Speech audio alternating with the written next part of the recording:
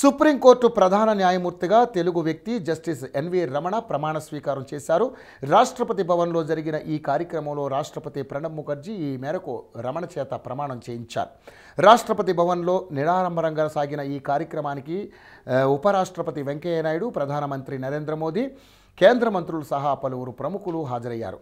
కేంద్ర కేబినెట్ హోదాతో పాటు దేశవ్యాప్తంగా ఉన్న కీలకమైన పదవుల్లో తొలి స్థానం రాష్ట్రపతిది అయితే దీనికి తత్సమాన పదవిగా సుప్రీంకోర్టు ప్రధాన న్యాయమూర్తి పదవిని పేర్కొంటారు. అంతటి కీలక పదవిలో కూర్చున్న రెండో తెలుగు తేజం మన ఏపీ వాసి కావడం అందరికీ గర్వకారణం. గతంలో దివంగత జస్టిస్ కోకా సుబ్బారావు తొమ్మిదవ భారత ప్రధాన న్యాయమూర్తిగా తొలిసారి ఏపీ నుంచి ఎంపికయ్యారు. పంతొమ్మిది వందల అరవై ఆరు జూన్ ముప్పైన కోకా సుబ్బారావు భారత సుప్రీంకోర్టు ప్రధాన న్యాయమూర్తిగా ఎంపికయ్యారు.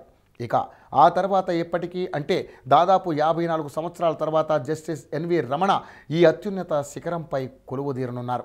ఆయన వచ్చే ఏడాది ఆగస్టు ఇరవై ఆరవ తేదీ వరకు పదవిలో ఉంటారు. అంటే దాదాపు పదహారు నెలల పాటు ఆయన సుప్రీంకోర్టు చీఫ్ జస్టిస్గా వ్యవహరించనున్నారు. అయితే ఎన్వి రమణ తర్వాత ఎవరు ఏ తెలుగువారు ఈ స్థాయిలో సుప్రీంకోర్టు ప్రధాన న్యాయమూర్తి అయ్యే అవకాశం ఉంది అనే ప్రశ్న సహజంగానే తెర మీదకు వస్తుంది. దీనికి సమాధానం ఇప్పట్లో లేదనేది అంటున్నారు న్యాయ నిపుణులు. ప్రస్తుతం సుప్రీంకోర్టు జస్టిస్ లావు నాగేశ్వరరావు వంటి వారు ఉన్నప్పటికీ వారు త్వరలోనే రిటైర్ కానున్నారు. దీంతో ఇప్పట్లో సుప్రీం సుప్రీంకోర్టులో ఇంతటి కీర్తిని ఆర్జించేవారు లేరనే అంటున్నారు. ఇప్పటికే సుప్రీంకోర్టు న్యాయమూర్తులు జస్టిస్ చలమేశ్వర్ వంటి వారు చేసినా ఈ స్థాయికి రాలేకపోయారు.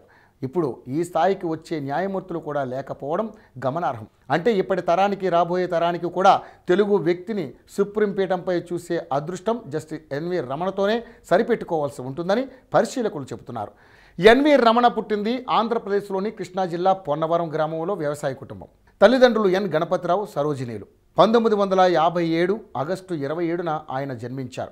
కంచికచర్లలో ఉన్నత పాఠశాల విద్యాభ్యాసం పూర్తి చేశారు. అమరావతిలోని ఆర్వివిఎన్ కళాశాలలో బీఎస్సీ డిగ్రీ చేశారు.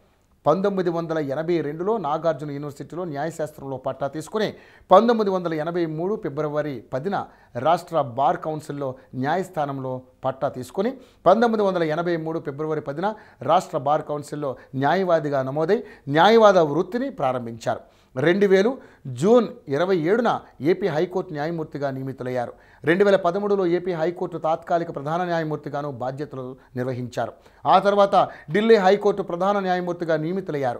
రెండు వేల పద్నాలుగులో సుప్రీంకోర్టుకు పదోన్నతి పొందారు.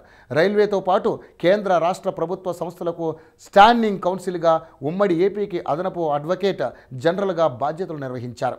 సివిల్ క్రిమినల్ చట్టాలతో పాటు రాజ్యాంగపరమైన అంశాల్లో జస్టిస్ ఎన్వి రమణది దిట్టగా పేరుంది.